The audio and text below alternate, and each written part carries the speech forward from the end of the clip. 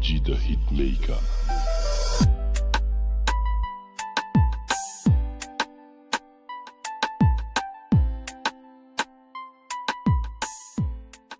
Good day, viewers, and um, you're watching Peace TV. Today, I have with me on stage one of the awardees in the presidential NYSC Honor Award that just took place in Aso Rock in Abuja. Like, I'm so excited to have him here. He's my uncle. In fact, I am overwhelmed. I'm overjoyed. I give all the glory to God for this wonderful privilege you have given unto me to have him here. Um, I also want to, I also want him to like try to tell us how he's feeling right now because I know he's so excited. Like the award is just just something I cannot explain. So um will introduce himself, he, he, he, will, he will tell us his name by himself. So let's just hear from him. Good day, Mr. Viewers. My name is Abdullah I'm so happy to be on this stage today, the interview.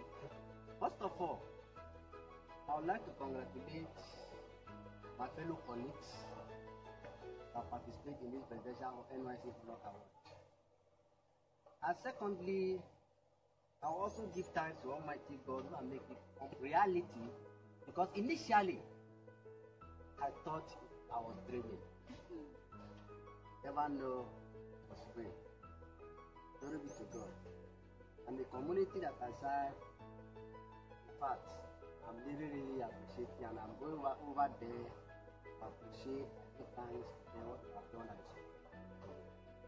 so. Having expressed his gratitude to God, to his families and friends and all of that, I'm going to be asking certain questions pertaining his experiences during his service here because I am also a corps member. I'm a corper. Right now I'm serving in Abia State. Like I know the challenges we pass through as corpers. I know the difficulties we pass through as corpers. And now even in these difficulties you are able to still achieve something, my dear, it's not easy. So I'm going to I'm going to be um, asking some questions and through his answers we get to see how he was able to overcome these challenges and difficulties and was able to scale through and is right now here today being celebrated. And before I begin to ask these questions, I will start by this because there's, there's an information I got about him in the sense that why he was posted to Bauchi State in 2014 where he served, 2014 right? Yeah, where he served. You see, I this is Nigeria and most most times people get so scared when they are posted to the northern part of Nigeria. And I heard from one one of his family members, she said when when I heard my brother was posted to um Bauchi, I nearly went into coma. Like she she she she was not nobody was really happy he was posted there because as a corper you are free to relocate. If you don't like where you are posted to, you are very free to relocate. But then on his own side, he did not relocate. So sometimes I begin to wonder. So I would like him to tell us why did you not relocate? Because I believe when you are doing something, your family members are not really supporting you. You should have like pulled back and like, okay, let me let me just decide not to do. So why did you choose to serve in Bauchi State? Was it because when you went there, you saw that everywhere was looking so good? So what happened? What encouraged you to remain in Bauchi and serve all through your service here? Thank you very much. The question says, a main reason why didn't I relocate? Yes, right? why didn't you relocate? All right. Before I be posted to Bauchi State, I somewhat believe that in any way I found myself today, it is a destiny. So when I was in school, many people were posted in different states, or which even most of my friends I finished together, most of them relocated. But when I was posted to Bauchi State, it just as if it was a joy that be posted in a state that you have never been. To go there and experience challenges, different attitude, different character, different behavior. So when I when I was being posted today, it was a kind of a saying, ah, God, my they heard that I posted to this place. Will kind of feel discouraged because of what is happening over there. They would like to tell me, please relocate, relocate. Quite sure, they called and told me that, please, my brother, relocate to a different state. We don't want you there. Well, said, I don't think it will be possible because I believe God that have brought me here that has a reason for me being here. Has a reason for me being here. So I picked the courage as in, why should I be discouraged? Look at my co-member, they are also here. So they didn't relocate. Oh, why should I relocate? We are all living together. That's why the part of the past incident that happened. That even the corper that uh, the corper lord that which I was posted to, that very particular lord was a victim of during 2011 election. Cop member that was there, most of them happened to be a victim of uh, election crisis. But we pick up that courage not to relocate because God has sent us to this place. There is a reason behind us to be here. My main reason. Why did relocate? I know that there is a will of God Yes. Yeah. me being relocated to. That's very true. You should come to that point in your life where you understand that whatever happens to you has been planned and ordained by God. You should come to that point in your life where you know that things don't just happen to because they, they want to happen, but because God who created you already knows that a time like this will come in your life. He allowed everything in your life to happen for a reason. And mind you, one of the, the criteria that was used in selecting the awardees has something to do with, your, with the relocation. Now, even if you're a corps member that did something during your service say for the community you serve and you relocated, maybe you, you were not really in the place that you were posted to, you'll be disqualified. The only candidates that were selected were those candidates that remained in their place of primary assignment, that remained in the place that NYSC posted them to. So had it been to his family members and relocated, had it been he did not have confidence in the God that has sent him where he was posted to, even if he went wherever he went to and then did something, he would have been disqualified. All right, thank you very much. And then I also want to ask you another question because, um, okay, what he actually did during his service was he actually, okay, maybe he has to do that himself. So, what did you do?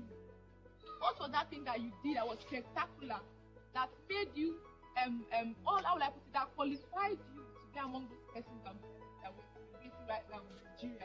Uh, the main project that I did not something that maybe is hidden. Everybody knows it. It's a common project, which yes, everybody wants to have it. Called solar energy. That made store.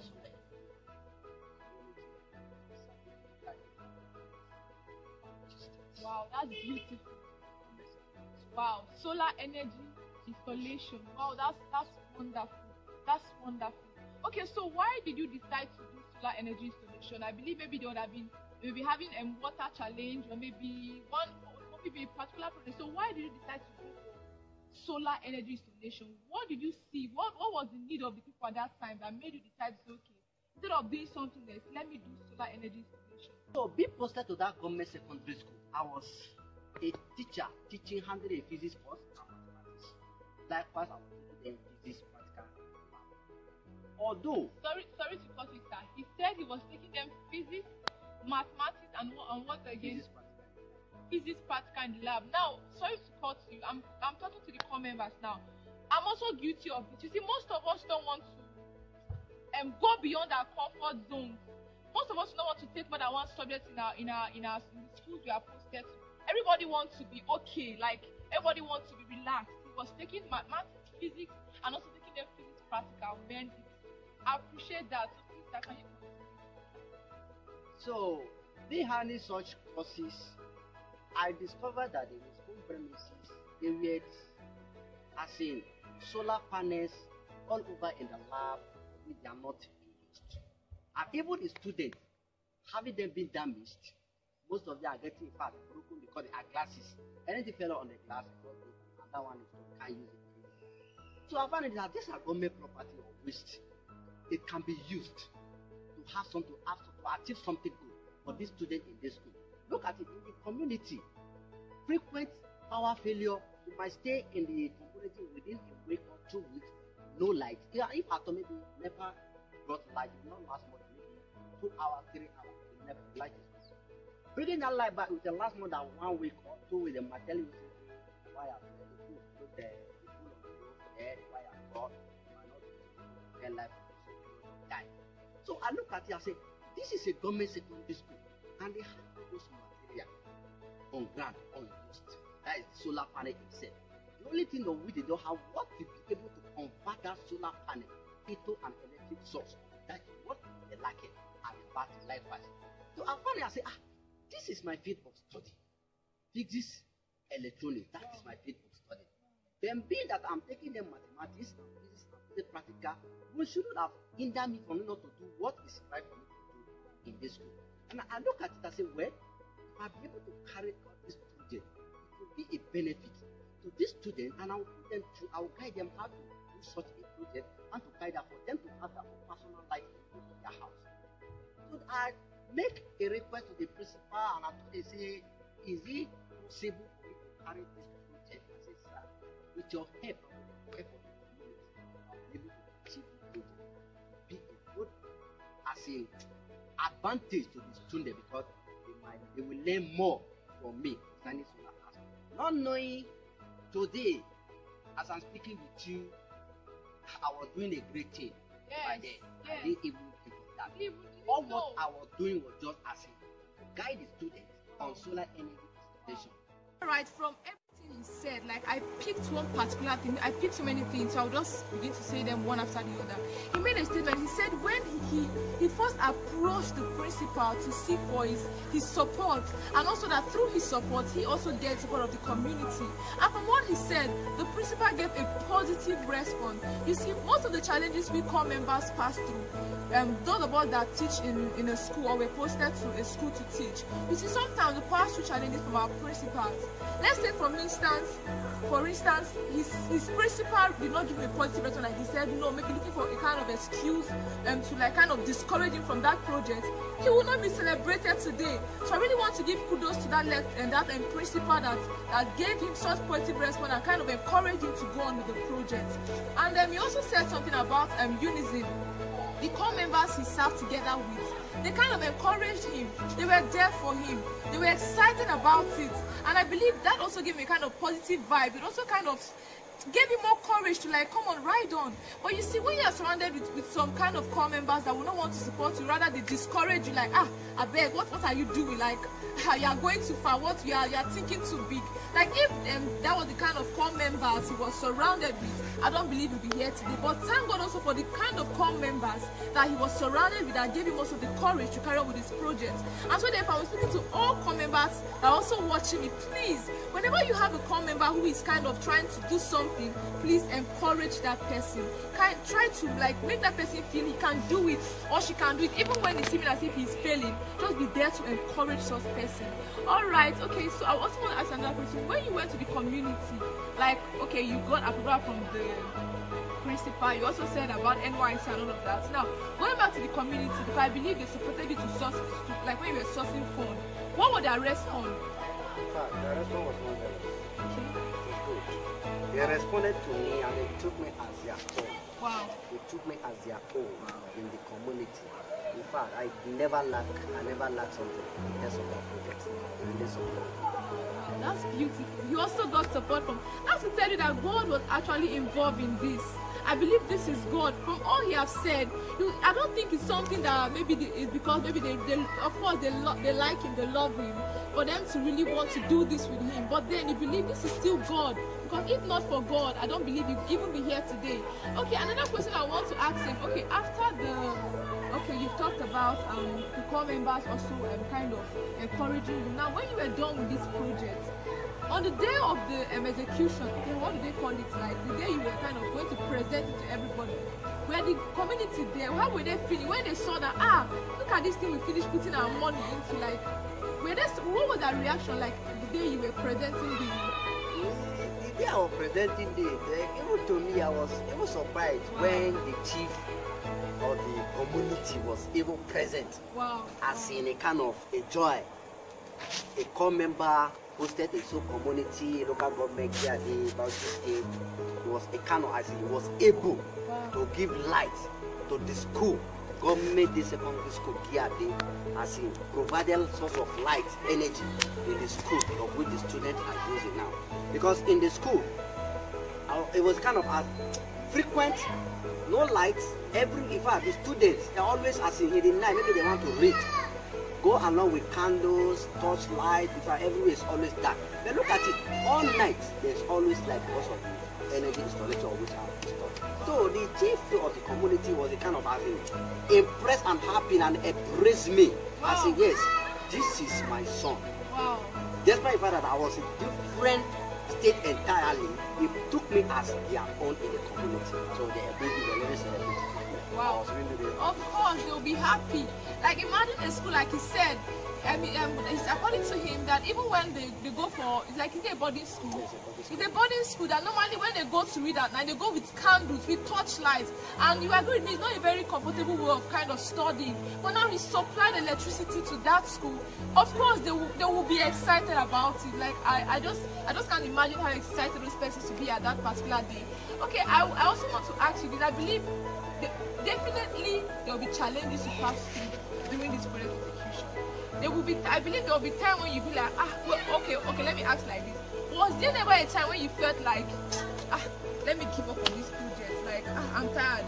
Was there never a time you were kind of discouraged? And if there was a time like that, how did you overcome those kind of negative vibes, discouragement, and all of that? Uh, the time I would have said maybe I was a kind of discouraged was I think uh, that was even the time on which I really picked the positive impact that I have to make sure this project is done. And that particular period was the period of when I was sourcing for the fund to get the batteries. And each battery was at the rate of 120,000 per one. And we needed two batteries at the spot. So as the kind of ah, this huge amount of money, 240,000 for batteries. How will I be able to source this money out from this community? I said, well, God that made me to start this project will definitely put me through. God, the fact of God. That was the faith that I put in mind that this project will be achieved. Then there was a particular boy in that very school, a head boy called uh, Dauda. That boy, in fact, is great. And he really, really supported me. And what I've taught him so far in this project, I believe even tomorrow, by the grace of God, he will remember that yes, Wow. I've taught him something Wow. Wow. for the project. Yeah, so Because he was the one that took me round from the big men in that community how Wow. to source money out from their mm-hmm. hand. So I went there, he was the one taking me along to come and see Susu Pesi, little Susu man, yes, he believe he can support. Wow. So when I went through, truly, yes, he really supported me. He gave me the money, before you know, I was able to source out the amount of those batteries. That's how we got the battery. Bought them and fixed it. So on My the project, it Shall day. We saw the batteries, Close everything was in order, perfect, tested, Wow. all was okay. Okay, like according to what he just said, there were, times when he passed through challenges, of course. He said one of the things that made him feel discouraged at the time was when he he discovered that to get a battery, and he needed two batteries, a battery, 120,000 naira for a battery, and he's a corps member. I believe that would have been a point where he would have just given up, but he did not. He made a statement that he believed that God was with him. With God, all things are possible. And of course, God did not fail him. God did not disappoint him because today he celebrated. I also want to give a shout out to that um, head boy because he said the head boy of the school took him around the school. The, um, not just around the school, around the community and help him um, meet the big men and women that could support him. So a shout out to you. You did a good job. Like, thank you so much for helping him. All right. And um, right now I'm serving. I'm serving and I, I in fact it's very it's how would I put it? It's very challenging for me. Where I'm serving currently, I don't know what to say about it, but his life is or his his own experience and everything he has gone through is a kind of an encouragement for me. Like I'm not believing there are so many things I can achieve as a corps member in the community I'm serving. Okay, and I want to ask you this, or maybe not really asking you. I want you to kind of talk to the core members now they are watching you. Because i believe a core member will definitely watch this video. What do you have to say to that core member who is out in the community right now? He or she does not know what he should what he, he maybe he knows what to do but he's he's not seeing the possibility he's kind of discouraged. And what do you have to say to that core member? And secondly now to that person who is still in school hoping to serve one day those persons that are not yet serving what do you have to say to them to these two categories of people Well, what I have to say to them, who come over outside them, or the student who is in school, yet to pass out. Definitely encourage you and advise you wherever you are being posted to, state to your feet. You hear that? State to your feet. Don't let anyone discourage you because me speaking with you present right here, I never thought, have never thought of it. I'll become a presidential NYSC Honor Award as of yesterday, 27th of April 2019. Yeah. So I would definitely advise you, please and please, wherever you find yourself, in any community you find yourself, try to find out what is their major challenges in that community. What is their major challenge? What is their major problem in that community? Then figure out a possible solution to that problem. And don't allow any core member or anybody to discourage you Yes. in that particular in that particular project that you're about to carry on. Putting God into whatever you are Yes, as doing your, as your backbone. as your backbone. Yeah. Understand? As your as, let me say, put make sure that yes, your God is the foundation. He is not the reason why you are being there. And for him to be able to ask him, helping you to be able to think wisely that at this community, this is the major challenges. I believe that God will definitely provide a possible solution for you to solve that problem. So, call member outside there and advise you to do what is supposed to be done at the right time. You're. Right? Thank you so much. And mind you, let me remind us that this particular project we are talking about was in the year 2014 when he served. This is 2019, five years ago. So I believe, and like what he said, he said he was not doing it because he was expecting an award or whatsoever. That was even what kept him going. He did it because of the passion, because of the love he had for the community, because he saw they really needed electricity. He saw the need to, to, to provide solution to the problem at that particular time. That was what kept him going. So you out there who want to back on the project, don't do this because, oh, I know the federal government will issue awards, so let me try my best to get an award. If that is the reason why you go to, or maybe you decide to embark on the project, you may end up not um, executing that project. So let it be that you kind of have this kind of passion to see that you prefer solution to the problem the community you are currently serving is passing through. And then for those of us that don't know what this award is all about, I want to let us know the award is just so so so so so overwhelming and so I'm so happy. Like um an immediate appointment, like you know what that means. Um a scholarship um to study up to doctorate degree in any country in any country of your choice man. The government they tried. God bless the government of nigeria. Like you did well i really want to thank you mr sule abdullahi for the privilege to get to interview you. Like um thank you so so much. I really appreciate god bless you. I believe a corps member has learned somebody has learned from your experience. And uh, for those of us watching Peace TV, I also want to thank you for getting to watch it. I believe you've learned. You may be a corps member currently serving, like I'm a corps member, and I just have about four to five months to finish serving. Like right now, I'm just thinking of something I can do for my community because I also want to get this award. I'm really just thinking. So you should get to, like you said, look for the, the, the problem the community is facing and try to provide solution. And then you're a student who is still in school, hoping to serve, or you are done with your school and you're hoping to serve please, as you're going for your service, wherever you are posted to, just be grateful to God. You don't have to relocate. If if if, if it's not something that so, you don't have to relocate. Because if you had relocated, you'll be disqualified, even if you executed a particular project. Just remain where you are trusting that God sent you there for a reason. Begin to ask God, why did you send me here? And let God give you the grace to be able to um know the reason why He sent you there and be able to like execute that reason. So I really want to thank you for watching Peace TV. If this is your first time on my channel and you're yet to subscribe to my channel, I want to